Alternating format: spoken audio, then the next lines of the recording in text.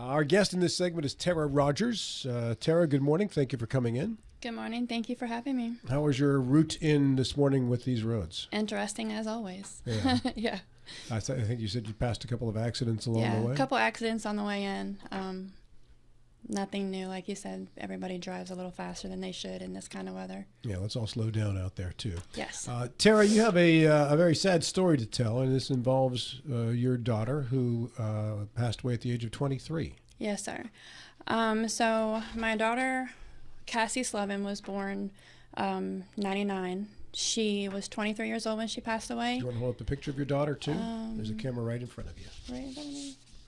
There you go. Okay. This is her. Mm-hmm. Um, she was very healthy, very vibrant. Um, she lived a good life, the life that she was here. Um, she started getting sick in 21. She started having seizures out of nowhere after a COVID vaccine shot. Um, she had two. She had one in July, one in August. Uh, right after that, December, she started having seizures. Um, many hospital visits, um, EEGs over and over and over again, head scans, MRIs. They couldn't figure out what was going on with her. Um, so we exhausted pretty much all the avenues that we could. Um, May 1st, I got a phone call from her work saying that she was late for work and was not like her. Um, then we ended up going to the house and finding out she had passed away in her bedroom. Of an epileptic seizure? Yes, um, we wasn't we weren't sure what it was. Um, they did an autopsy because she was 23, um, health, very healthy, other than the seizures, um, and they found out that it was epilepsy. And she had not had epilepsy when she was younger. She had not. She had. She was very healthy all of her life. Um, no, nothing, no seizures, no major diseases, nothing like that. Um, so it was very. It was a shock to us. Um, since then, I've made it my goal to help as much as I can the Epilepsy Foundation. Um, I've raised money already. I've we raised fourteen hundred dollars our first night at Dairy Queen on Winchester Avenue, which is where she used to work. Um, from there, we have more coming up, more foundation work coming up to just to raise money to raise awareness. It's a very, it's not rare. It's very known, but the symptoms and finding it in a person is very rare. Um, I've been doing a lot of research, and here to come find out, there's 40 different types of epilepsy. 40, four zero. 40 different types of epilepsy. Um, How, how common or uncommon is what happened to your daughter um, among the general population?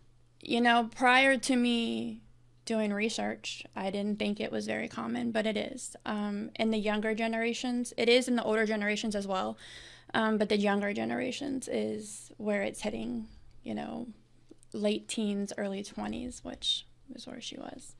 Uh, is there an idea of what percentage of our teens have epilepsy and may not even know it? Um, I don't know what the percentage is, but I know that it's it is a lot more common than than anyone knows. Um, I spoke to someone through the Epilepsy Foundation, and they said epilepsy is more of a more of a rare disease simply because it's so hard to find. It's hard to detect. Why is it so hard to detect? The research just isn't there. There, the research is just ongoing, trying to find ways because there's so many different types. Um, to this day, I still am unsure of exactly what kind she had. Um, it could be hereditary. It may not be hereditary. Um, on her foundation page that I've created, I have um, a ton of information. I post information on there often about um, should you wear an epilepsy bracelet? Yes, of course you should. Someone should know if some, you know, if you're in public and something happens. Um, many different kind of seizures that relate to epilepsy. Um, they are coming out with watches, kind of like an Apple Watch, where Mm-hmm. it'll detect that you're going to have a seizure and it'll send it to your emergency contact and to the local 911 so they can get there to make sure that you're okay. You need to go to the hospital or, or what have you. Um, these are all things that they're in the process of coming out with. My co host in a former life was a volunteer firefighter, EMT, and safety engineer. John, was this something that you came across in your day doing this work? We encountered a number of grand mal seizures, whether they were, we were not. Now, it sounds like you said grandma seizures. Grand mal as opposed Grand to mal. petite mal. Grand mal is when you think seizure, with with all the the accompanying symptoms that's a grand mal seizure. Um, we we didn't care. It wasn't. We treated symptoms. We didn't treat disease. Um, I was not aware, quite honestly, that there were fatal outcomes, secondary outcomes. You know, a fall that that follows a seizure or what have you. But I was not aware that it, it was in itself a, a fatal condition. Yes, sir. Are there subtle symptoms beyond the sudden onset seizure that, that people can know if they're it's just it really with her um she had a seizure. She was actually getting ready for my nephew's birthday party. Um he was one and she her dad heard a fall in the bathroom. And when he went and you know he knocked on the door she didn't answer. And i think she possibly tried to get up and when she tried to get up he heard the fall again. And when he opened the door she was having convulsions um, in a seizure. Um, she had many in her sleep. Most of her seizures were in her sleep. She would wake up her legs would be numb and wobbly bite mark on her tongue um, always on the right side. Um, she was very she lost a lot of energy. She wasn't full of life like normal. Um, but then the second seizure that she had when she was awake was there was different symptoms from that. She kind of was going in to go to the bathroom and she felt lightheaded and she grabbed the hold of the sink and next thing she knows she woke up in an ambulance. Um, so her it's with there being so many different kinds of seizures and so many different kinds of epilepsy there's just so much to look for. And that's where the problem lies in the research is that there's just so many different avenues. Now you said that the the onset of the first seizure followed a covid vaccine is there how closely correlated were those two events she had her first one on July, the end of July. I don't remember the date exactly. Mm-hmm. And then her second one, the end second of shot or second seizure second shot. okay So she had her first shot in July, end of July, her second shot at the end of August, and then the seizures started December 5th was her first one. So there's a good bit of time in, in, in between have you spoken to doctors is there a uh, correlation causation Se- There's really Suspicion. no there's saying that there's really no way to try to determine whether that is the case or not. Um, But there are a lot of folks I'm sure you've met who have anecdotal stories similar to yours, though. Yes, yes, there is. Um, we, I, you know, finding, you know, going through this, I am members of Facebook, you know, epilepsy things that, you know, you're reading similar stories. Um, I have a couple friends that their daughter or you know a friend of Cassie's that she went to school with he's having seizures. And it's they're unexplainable. They can't find resources. He's wrecked cars um, having a seizure. And you know it's just it's more common than anyone thinks. And that's part of what i'm trying to do. I'm trying to get that out there so people know you know if you're having on you know headaches she was having headaches she was having dizzy spells Prior to the first seizure?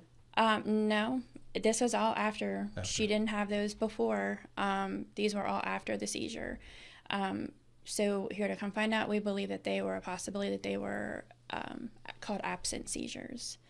Um, absent seizures. Again, there's so many different things that go with that. Um, staring into a blank spot, headaches, dizziness. Like you know, there's just there's got to be a better way. I would love to find a better way, and I'm hoping raising this money and the research will help get to that point. Was uh, Tara was Cassie on uh, medication for epilepsy? She was. She was on medication. Um, she was taking Keppra. Um, she was taking 500, I think it was 500 milligrams a day, twice a day. Um, we went to her doctor in the neurologist doctor in Winchester, and he raised it to 700 twice a day. Um, because I was saying, you know, we went back in saying she was getting the lightheaded spells. She was having the headaches. She wasn't energetic. She's this is a girl who she would get up and go to the gym in the morning, go home and shower, and then go to work, and then go to the gym after work if she could. You know, she, She was, was she was just a young, healthy, energetic 23 year old before this all started. very much so. All right, uh, uh, we have we still have 10 minutes, so we've got plenty of time. But I But uh, we'll, we're going to kind of circle back to this. But I want first for you to get out the information you want to get out for our audience to know about how to help in the foundation and such. Okay, so we have a couple different ways that you can help out. Um, we do have a silent auction spaghetti dinner on the 13th. It's at the Baker Heights Fire Department. Um, we will be having some tickets available at the door. We have sold uh, probably about 175 tickets as of right now. Um, so I have her Facebook page that is the um, Epilepsy Field of Sunflower Foundation in memory of Cassie Nicole Slevin. On there, I put all kinds of information about epilepsy, about seizures, things to look for, um, groups that you can join that can help you with questions that you have or anything like that. Um, we are also going to have a biker poker run in May. Um, on May 4th, which we've I've got bikers saying they're coming from Florida and Chicago and and further, um, just to be a part of this. Um, how that works is you you pay $15 to go in and ride your bike, go from on the routes that we have designed, get a tick or get a card, and then go back. And at the end, whoever wins gets whatever it is that we have at that time. All the money and proceeds go to the Epilepsy Foundation. Um, another way that you can donate is going on to the Epilepsy Foundation, the same name, the Epilepsy Field of Sunflowers in memory of Cassie Nicole Slevin. Um, you can just donate through there. Um, now, is there there's the Epilepsy Foundation, which is national or worldwide for that matter, yes, sir. and then there's your daughters. Is there Yes. a difference in terms of how the funds are used or, or will be directed or donated? It all goes to the foundation. It's just a foundation that I opened in her name and her memory, but all of it goes to towards the research of epilepsy. So all the money that you raise goes toward the, the national or Yes, worldwide Epi- epilepsy Yes, foundation. sir. You, you mentioned that there's just so much unknown about epilepsy, and I'm wondering uh, if, if you've done enough research to know why that is, because it's certainly something epilepsy something I've been aware of for. I'm, I'm 60, so probably 50 years of my Right, life I've yeah. been familiar with the, term. Um, the problem is they they they would tell us with her. Um, one of the things that the neurologist said that the next time she has a seizure, take a video of it. And I'm thinking, what am I gonna? Why am I gonna take? You know, that's gonna be. It's hard enough to watch your daughter go through that, let alone video it and watch it happen. There's something in the way they act or the the way the seizure is to be able to tell what kind of seizure she's having if it's an epileptic seizure if it's something else um, i just i don't know there's just not enough out there Was the medication helping? we thought yeah we thought so but um, i believe that her diet her medication was not high enough of a dosage because of course i got the her medical records. And in the medical records he said the doctor had said something about supposed seizures. Um, the thing that kind of boggles my mind a little bit is he never once said epilepsy. Never once said that word. And This I- is in the post mortem. Yeah, and um, he his studies as a doctor was epilepsy. So I'm not sure why he did. You know, we did a 24-hour EEG. We did a three-day in the hospital, no medication EEG, MRIs, head scans, blood tests over and over and over again. And apparently, if they don't have her connected to a machine with an EEG, they don't know exactly what it is that's causing it. So she gets her second COVID shot in August. Her first epileptic seizure takes place in December. Yes, sir. And, and there was nothing in between? No, sir. Nothing. She was healthy. She and that was the time that she was working and gym all the time. She never wanted to be home. She was always out with fam- family was huge for her. Um, she always wanted to be around family and be a part of family. And she was rarely ever ever home home. But then once that first seizure happened, it was more so. Uh, she kind of stayed home a lot, wasn't going to the gym. She was afraid of having a seizure, even with the medication. She was just, she was afraid to live that life. With that being said, she had a whiteboard in her bedroom um, that had a little smiley face on it and said "Stay positive." So that has become kind of the logo for her foundation. Is it would get her down as a mother i knew that it got her down as her family we knew that but if you were somebody that if you would just meet her, you would never know that because she always had that beautiful smile. She always filled the room with that, and you would never know that that was. Do you want to hold her photo up one more time over your microphone there, Tara? A little higher. There you go. And uh, if you're just tuning in, Tara Rodgers is our guest here. Her daughter Cassie passed away in, I think you said May, Yes, sir. uh, of epileptic uh, seizure. And uh, the found, there's a foundation set up by her mom, Tara, who's with us in studio today, to help raise money for research. And they've got a spaghetti dinner coming up. If you could, uh, you can Yep. talk about that event again and some other ones. The spaghetti dinner is um, it's at the Back Creek Valley Fire or the back not the Back Creek I'm sorry the Baker Heights Fire Department. Um, it's the new one right down from the old Kmart. Um, Twenty dollars at the door. Kids under ten are five dollars. All proceeds go to the foundation. We also will have a silent auction, baskets. We have quilts that were made, jewelry that's been donated, snap-on tool items that's been donated, a little bit of everything for everyone. Um, any money from that, which all of that was pretty much donated or bought by me or the family, um, all that money goes to the foundation as well. You mentioned uh, that you didn't know and were concerned if it was hereditary. Is there a way to test to find out? There is, um, I'm in the process. I have called and left a voicemail with the people who did that autopsy just to see if they can give me some more information from that. Um, with my nephew, we are we've let the pediatrician know that you know epilepsy was a thing, and I don't know if there's testing or if there's just certain things that she would look for in him. Um, but I'm in the process of trying to narrow it down and find out what kind of epilepsy she had to see if it's some is genetic and some is not. So it's just kind of narrowing it down and hoping that we have nothing happen between now and then. Did she have siblings?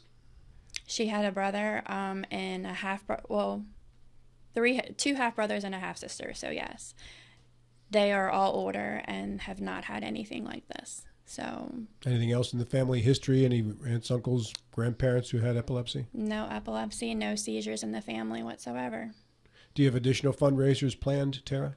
I do. Um, we are definitely doing another, the one in May, the biker poker run, um, and Dairy Queen has, where she was a manager there on Winchester Avenue. They have um, said that they would like to do a few more spirit nights there. So what happens there is 10% of the proceeds go to the epilepsy, or it comes to us to go to the Epilepsy Foundation.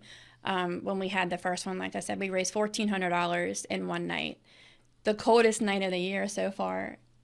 It was was very interesting to see the outcome, the busyness, and people they would just come through and they would see the flyer and they would just hand cash to the to the workers and they we had a jar and just went in there and it all went to the foundation. So What is your message to parents and uh, folks of your daughter's age listening to this show? don't ever think that you're doing too much. Always push. Um, as a mother, as a father, you have that instinct. Um, fight, fight for your kids. Don't stop. Um, she's been gone eight months and I'm still fighting. So just fight. If you think that there's something more there, keep going. If that doctor can't find it, go to the next.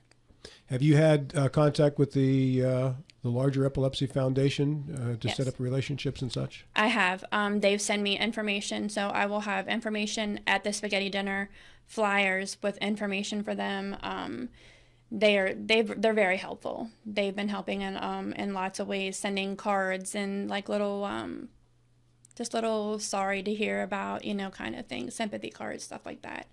Kind of it helps. It it's nice to know that someone's out there that really wants to find what what's the cause behind this. And the date once again for the spaghetti dinner. I've got about twenty seconds. To is the 13th and it's 4 to 8 at the Baker Heights Fire Department. Very good. And the, Facebook page or website to find out more about your daughter Is the Epilepsy Field of Sunflower Foundation in memory of Cassie Nicole Slevin. Thank you for coming in today, Tara. Thank you. It's nine fifty-seven. Final minute next.